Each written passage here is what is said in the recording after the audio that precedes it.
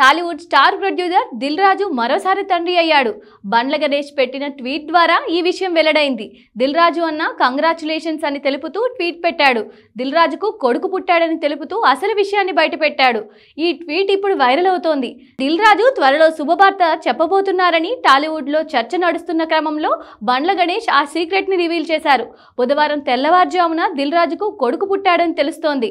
కాగా దిల్ రాజు మరోసారి తండ్రి కావడం ఆయనకు కొడుకు పుట్టడం పట్ల టాలీవుడ్లో అందరూ ఆనందం వ్యక్తం చేస్తున్నారు. ఇంకేముంది? వారసుడు వచ్చాడు దూసుకుపోతూ పెద్ద ఎత్తున సోషల్ మీడియాలో వేదికగా శుభాకాంక్షలు తెలుపుతున్నారు.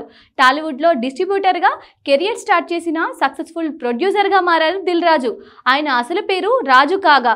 నితిన్ హీరోగా నటించిన దిల్ సినిమా నిర్మించి సక్సెస్ కావడంతో ఆయనకు దిల్ రాజు అనే పేరు వచ్చింది. దిల్ రాజు మొదటి బారి రెండు వేల పదిహేడులో అనారోగ్యంతో మరణించారు. దీంతో ఆయన దాదాపు రెండేళ్ళుగా ఒంటరిగా ఉన్నారు. దిల్ రాజు మొదటి భార్యకు ఒక కూతురు హంషితారెడ్డి ఉంది. ఆ కూతురికి పెళ్ళై పిల్లలు కూడా ఉన్నారు. దీంతో ఒంటరిగా ఉన్న తండ్రి బాధను చూడలేక ఆయనకు మరో పెళ్ళి చేయాలనుకుంది దిల్ రాజు డాటర్. ఈ క్రమంలోనే దిల్ రాజుకు రెండో పెళ్ళి కుదిరింది. రెండేళ్ళ క్రితం నిజామాబాద్ జిల్లాలోని నర్సింగ్పల్లిలో వెంకటేశ్వర స్వామి గుడిలో తేజస్విని అనే అమ్మాయితో పెళ్ళాడాడు దిల్ రాజు ఇప్పుడు ఈ దంపతులకు కుమారుడు జన్మించడంతో దిల్ రాజు వారసుడు వచ్చినట్టయింది. అలా నలభై తొమ్మిదేళ్ళ వయసులో దిల్ రాజు కొత్త జీవితాన్ని ప్రారంభించారు.